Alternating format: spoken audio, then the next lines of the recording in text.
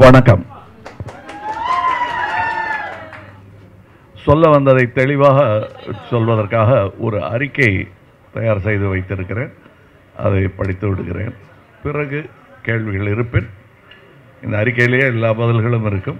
பிறகு கேள்விகள் இருப்பின் நான் சொல்ல கடமைப்பட்டிருக்கிறேன். தேச விரோத சக்திகளின் வீழ்ச்சியின் தொடக்கம் இது. சாதி பிரிவுகள் சொல்லி அதில் தாழ்வென்றும் மேலென்றும் சொல்வார். நீதி பிரிவுகள் செய்வார். அங்கு நித்தமும் சண்டைகள் செய்வார். சாதி கொடுமைகள் வேண்டா அன்பு தன்னில் செழித்திடும் வையம். நூற்றி இரண்டு ஆண்டுகளுக்கு முன்பு பாரதி சொன்னது இது. இந்தியாவின் முதுகெலும்பு என சொல்லப்படும் கிராமங்களில் விவசாயி தற்கொலை செய்து கொண்டு செத்துக்கொண்டிருக்கும் பொழுது அதை தடுக்க வழி செய்யாமல் மதத்தின் பெயரால் மக்களை பிரிப்பது அரசாங்கத்தின் சூழ்ச்சி. சரிபாதை விழுக்காடான பெண்கள் வயது பாரபட்சமின்றி உயிர் பயத்தில் வாழும் நேரத்தில் சட்டத்தின் மூலம் அதை தெளிவிக்காமல் வாக்கு வங்கிக்காக சட்டப்பிழைகள் செய்வது அரசு மக்களுக்கு எதிராக தொடுக்கும் போர் வியூகம். எதிர்காலத்தின் தூண்களான மாணவர்கள்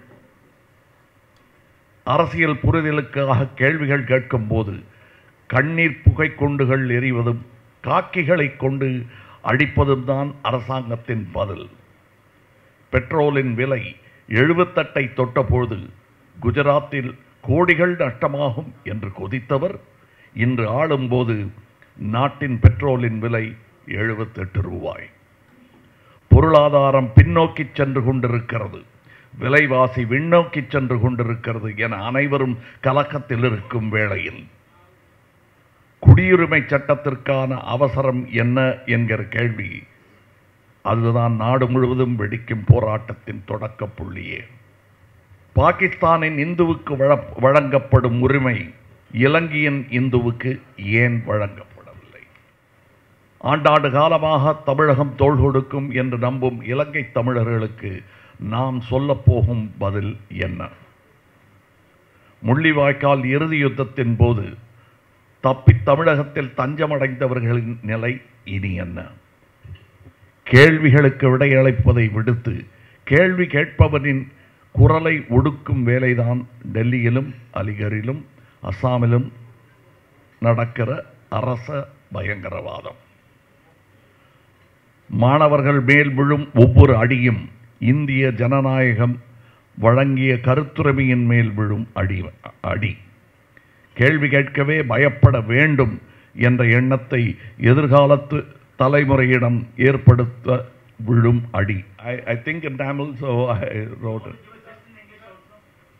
Yeah, I, I don't want uh, anything lost in translation, but I will. I'll ask my office to work on it. But uh, otherwise, I think w- with your questions, most of the things will come in English as well.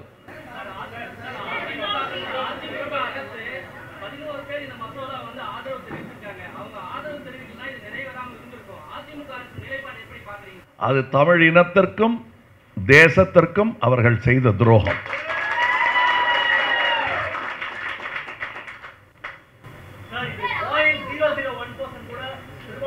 எதிரானது கிடையாது. இது எதிரானதுன்னு அமித்ஷா சொல்லியிருக்காரு.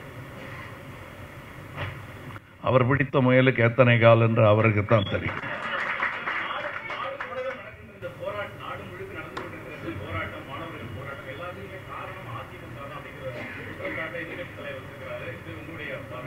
இந்த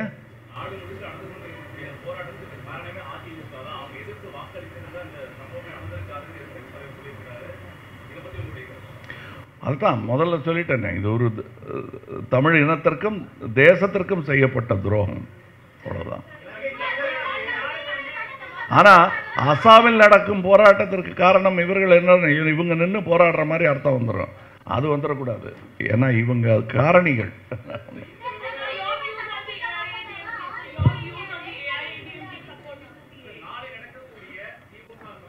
They are obedient to their masters that's what it is.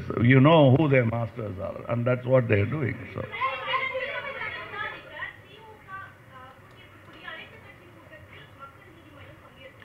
இது வந்து கட்சி ஜாதி அதெல்லாம் கடந்தது. இன்னும் சொல்ல போனால் ஸ்டேட் பார்டர்ஸையும் கடந்தது.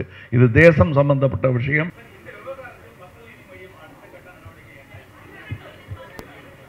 அதாவது அடுத்த கட்டம் இப்போ என்ஆர்சின்னு ஒன்று இருக்கு. அதுகிட்ட போய் அதை பண்ணும்போது நாங்கள் களத்தில் இறங்கி எந்த அளவுக்கு போக வேண்டுமோ அந்த அளவுக்கு போவோம் என்பது.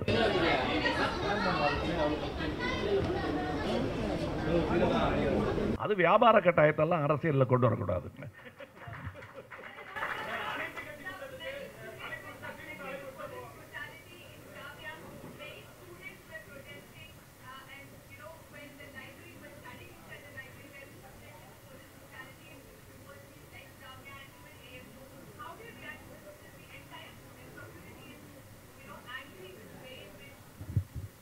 It's so unfortunate that uh, these people, when they were young, those in power, have done exactly the same thing.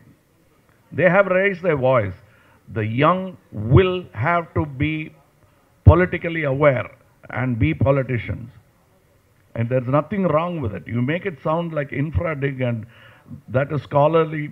This is omnipresence. Politics is omnipresent in their life and it affects it. They must understand it, they must question it, and they must have cognizance of politics and they must ask those questions. And these questions, when stifled, then democracy is in, in, in dangerous uh, uh, ICU.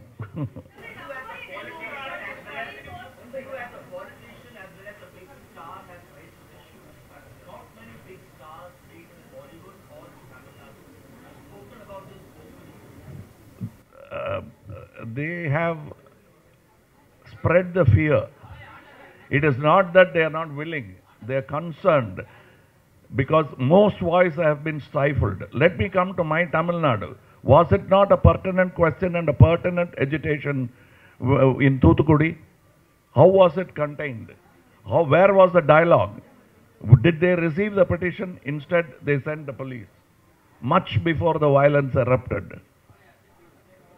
So these kind of precedences makes them very worried. It makes a journalist like you worried when you shoot dead a journalist. It's a warning.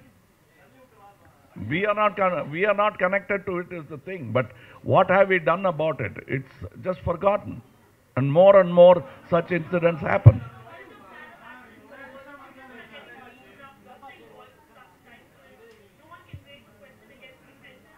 That is that you don't have to be only a student to raise the question. And you don't have to be a, a, a, a intramural student to voice for them. I am a student a permanent student in in this society and in my chosen field in any field. I am it's not a, a humility that makes me state. That pragmatism tells me that i'll have to continue learning. So i am a student and i will voice for them.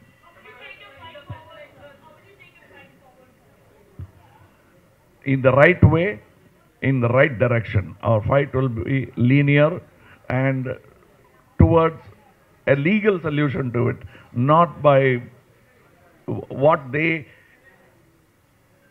probably think will be uh, best courses. Let this rise and then we'll put it down and we say it's a law and order situation.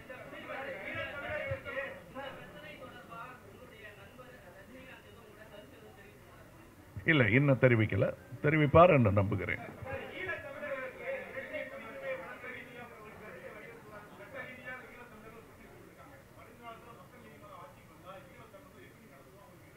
விருந்தோம்பல் தமிழனுக்கு சொல்லிக் கொடுக்க வேண்டியதில்லை. தெரியும் எங்களுக்கு. கண்டிப்பாக நாங்கள் செய்ய வேண்டிய கடமைகளை நாங்கள் செய்தே நாம் செய்ய வேண்டிய கடமைகளை நாம் செய்தே தீருவோம்.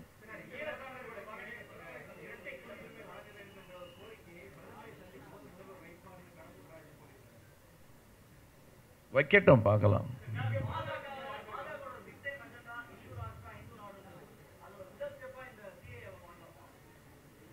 முதல் படியாக பார்க்க கூடும் அது.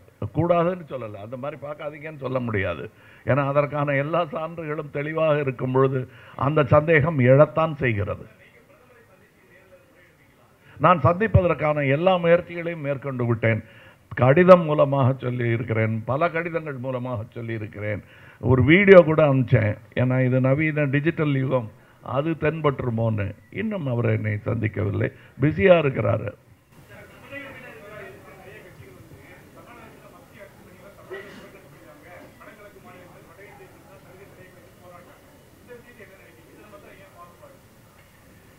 இல்லை அவங்க பல விஷயங்களில் பாகுபாடு காட்டுகிறார்கள். அதில் இது ஒன்று அவ்வளோதான்